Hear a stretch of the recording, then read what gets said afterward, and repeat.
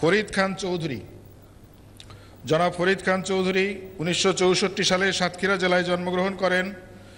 উনিশশো পঁচাশি সাল থেকে দু হাজার দুই সাল পর্যন্ত তিনি বিভিন্ন জাতীয় প্রতিযোগিতায় অ্যাথলেটিক্সে আঠারোটি স্বর্ণসহ তিরিশটি পদক লাভ করেন।